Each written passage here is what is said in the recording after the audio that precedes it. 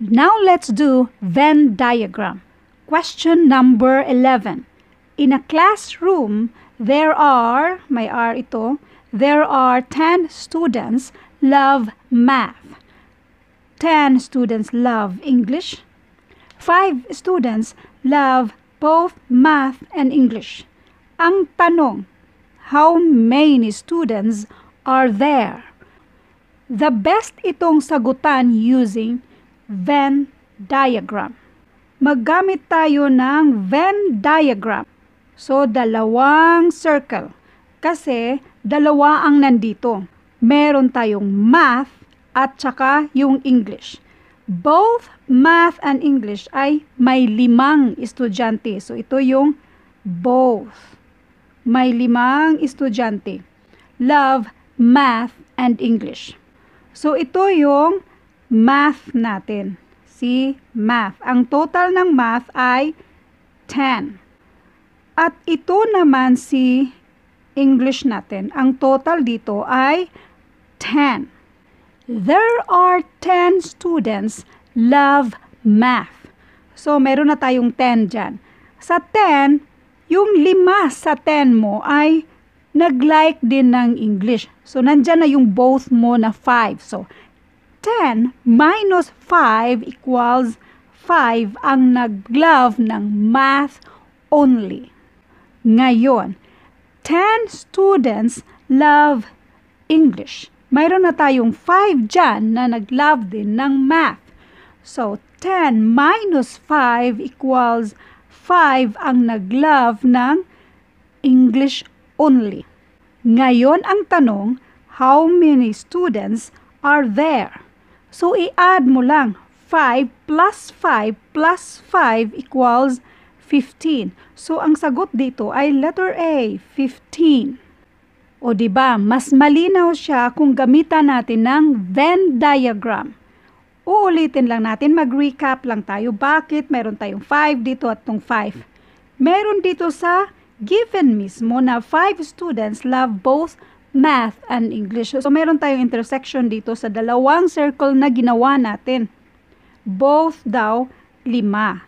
So, itong lima na to, counted na ito sa sampung nag-love ng math. So, 10 minus 5 equals 5 only na nag-love ng math. Ganon din sa English. Lahat ng nag-like ng English ay, nag-love ng English ay sampu sila meron ng lima dyan na nag-like din ng math. Both math and English. So, i-minus mo yan si lima. Hindi mo yan i-add ulit. So, 10 minus 5 equals 5. Ito lang yung i-add natin. 5 plus 5 plus 5 equals 15. Another way of solving this, aside sa Venn diagram, which is yan yung best nating gagawin para hindi kayo malito, para ma-visualize nyo yung sagot. Another way is, sa math, mayroon tayong sampo. Sa English, mayroon tayong sampo din. Tapos, both, mayroong lima. So, yung lima na both, yan yung i-minus mo dito sa dalawa kasi nabanggit na yan dyan. So, this is 10 minus 5 equals 5. 10 minus 5 equals 5. Ito lang yung i-add mo itong tatlong 5 na yan. 5 plus 5 plus 5 equals 15. Now, sa number 12 at number 13, pareho lang yung given. Sa tanong lang sila nagkakaiba. So, gawa natin ng Venn diagram para ma-visualize natin at mas madali yung pagsagot natin. In high school, 200 students are randomly selected So, ang total natin, pareho lang sila ng question, ang total natin sa mga estudyante natin ay 200. Out of that 200 students, 110 like science. So, gawa tayo ng Venn diagram dito. So, ito yung science natin at 110 ang total niyan. Next, 120 like math. So, gawa tayo ng isa pang circle dito. 120 ang nag-like ng math. 80 like both math and English. So, dito ilagay natin si 80. Yan ay both. Ngayon, kung si science ay 110 sila lahat na nag-like ng science, included na yung both doon. So, 110 minus 80, i-minus natin yan, and 30 lang ang nag-like ng science. So, si 30, science only. Itong 80, both science and math. Next, dito tayo sa math.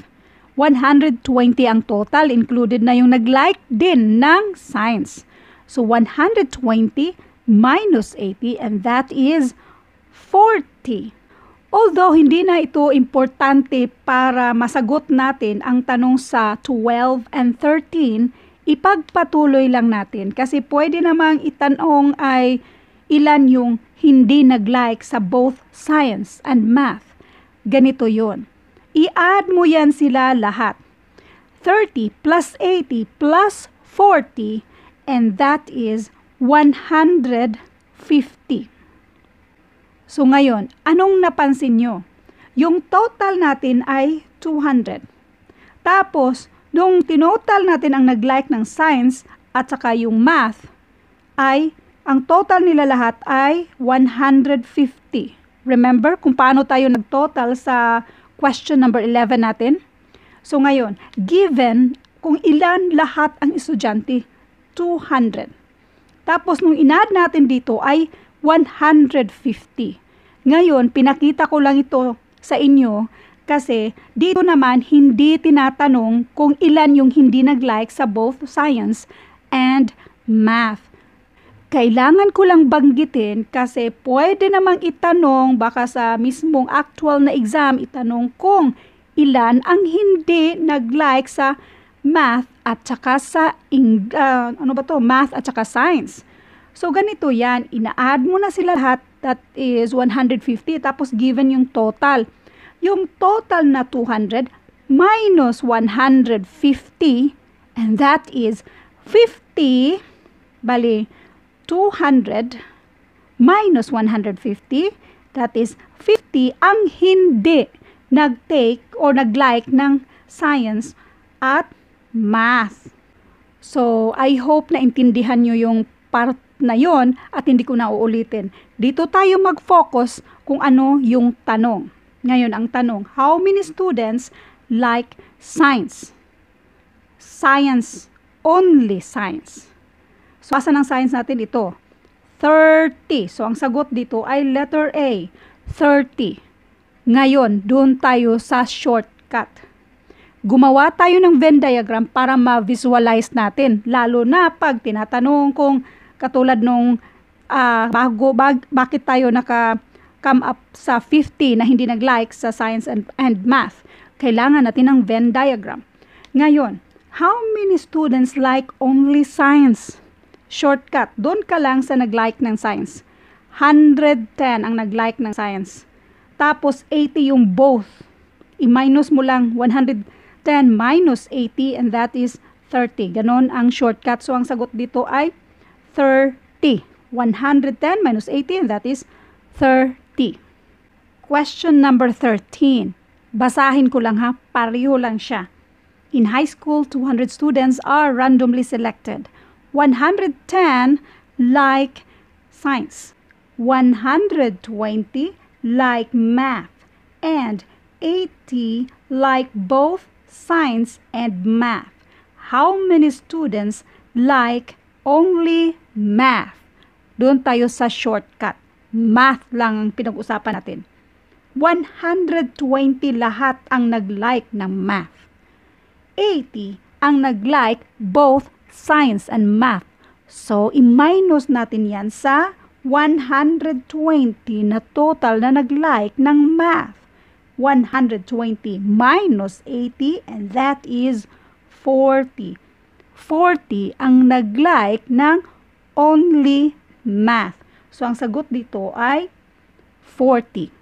Ngayon, kung gusto nyong ma-visualize natin ito using Venn diagram, babalikan natin itong ginawa na natin.